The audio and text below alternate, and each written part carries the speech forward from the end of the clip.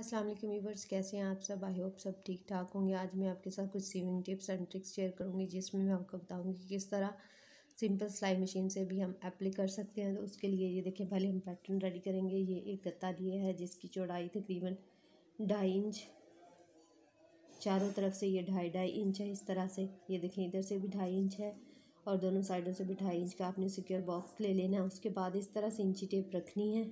इंची टेप की चौड़ाई जो है वो आधा आधा इंच के करीब है।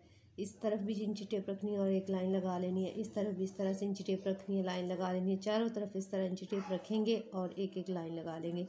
और दरमियान में जो बॉक्स बनेगा उसको हम कट कर लेंगे। इस तरह से ये देखें ये हमारे पास दो पैटर्न रेडी हो जाएँगे।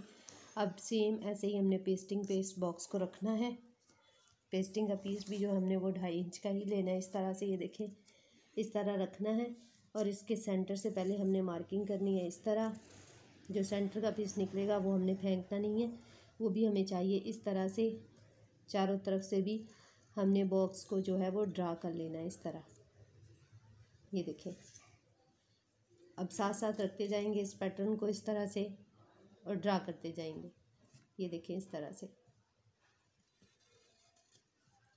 सेंटर बॉक्स को भी हमने इसी तरह सेम ड्रा करना है, जिस तरह से हमने सेंटर वाला पीस कट किया, क्योंकि हमें ये सेंटर वाले पीस भी चाहिए कोशिश करें कि बिल्कुल इक्वल हों। अगर आप टेढ़े मेढ़े करेंगे तो फिर इनकी शेप ख़राब हो जाएगी। इस तरह से टोटल आपने पेस्टिंग कर लेनी है इस पीस पे।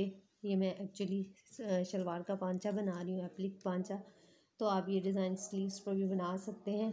और इस की जो पेस्टिंग की लंबाई है वो तकरीबन मैंने सिक्सटीन इंच लिया क्योंकि मेरा एट इंच का पांचा है तो डबल करके सिक्सटीन इंच बनेगा इस तरह से। अब इस बॉक्स को हमने सेपरेट कर लेना है।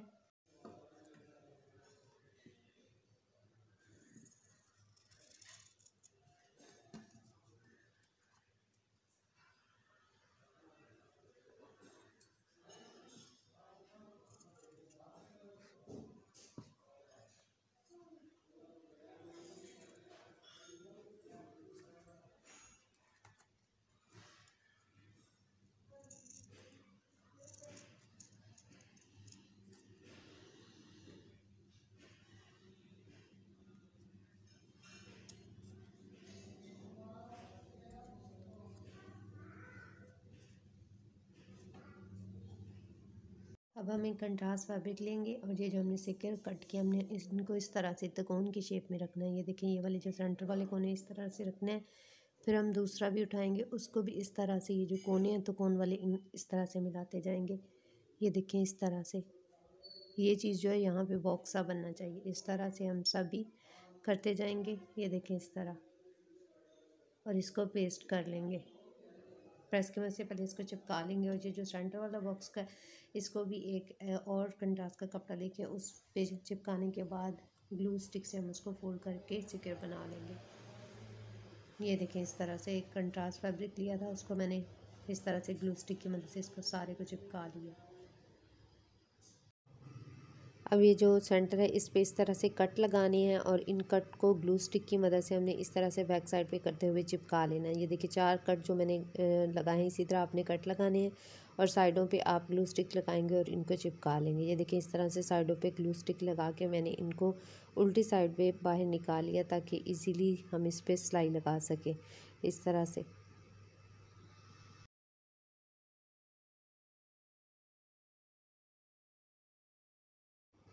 नीचे से सिलाई लगाने के बाद आपने साथ साथ कट कर लेना है और सेंटर में भी कट लगा लेना है इसको उल्टी साइड पे इस तरह से फोल्ड कर लेना है और किसी तेज़ कोने वाली चीज़ से इसकी नोकें अच्छे से निकाल लेनी है। मैं सीज़र के साथ इसकी नोकें अच्छे से निकाल लूँगी ताकि ये प्रॉपर फिनिशिंग के साथ आए। उसके बाद इसके ऊपर आप चाहें तो मैचिंग थ्रेड भी लगा सकते हैं, चाहें तो डिफरेंट कलर का थ्रेड लगा के इसके ऊपर आपने इस तरह से सिलाइयाँ लगा देनी है।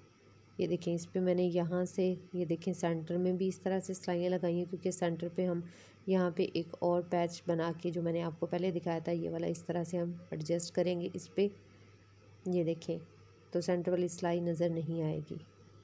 इस तरह से आपने रखते जाना और इस, ये जो सेंटर में हम पीस लगा रहे हैं, इनके ऊपर भी हमने सिलाइयाँ लगा देनी है इस तरह से। हमारा खूबसूरत सा beautiful applique work trouser design machine के साथ रेडी हो जाएगा। आई होप आपको वीडियो अच्छी लगी होगी। प्लीज़ मेरी वीडियो को लाइक और शेयर ज़रूर कीजिएगा।